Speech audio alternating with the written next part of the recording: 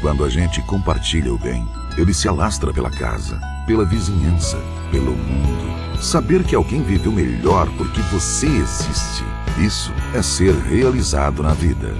Neste Natal, os funcionários do Grupo Unis doaram uma parte dos seus salários para ajudar o Natal de entidades assistenciais.